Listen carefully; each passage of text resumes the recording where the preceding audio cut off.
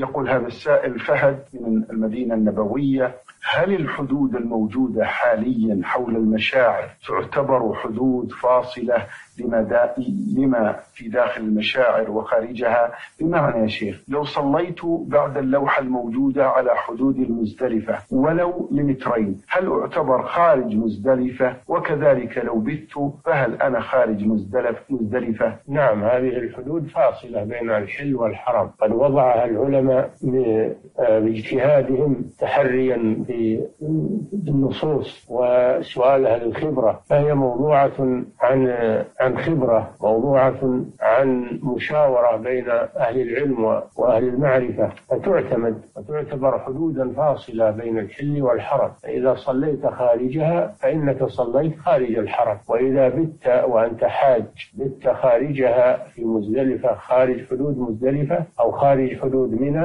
فإنك لم تكن في المشعر الذي يجب عليك المبيت فيه. فلا تتساهل في هذه الأمور. نعم.